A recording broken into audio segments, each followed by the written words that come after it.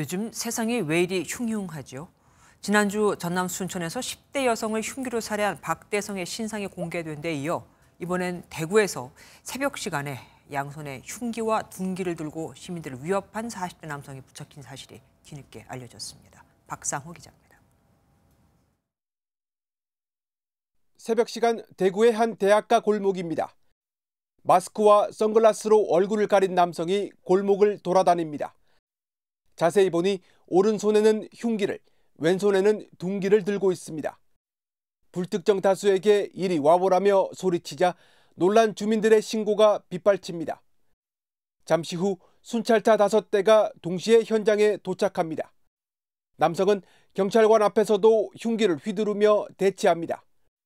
주변을 에워싸며 도주로를 차단한 경찰은 흥분한 남성을 진정시킵니다. 남성이 잠시 흉기를 내려놓으려 하자 경찰은 그 틈을 노려 순식간에 제압합니다. 사건이 벌어진 현장입니다. 아, 당시 남성이 휘두른 흉기에 시민들이 위협을 받긴 했지만 다행히 다친 사람은 없었습니다. 밤늦게 안 다닐 수도 없고 사람이 살다 보면 불안감이 많죠 그러면. 현행범으로 체포된 40대 남성은 술을 마시거나 약물을 복용한 상태는 아니었지만 횡설수설하는 듯한 모습을 보였습니다. 택배 때문에 문제가 있었는데 집에 있다가 화를 참지 못해서 그냥 가지고 나왔다. 그렇게 좀 얘기를 하더라고요.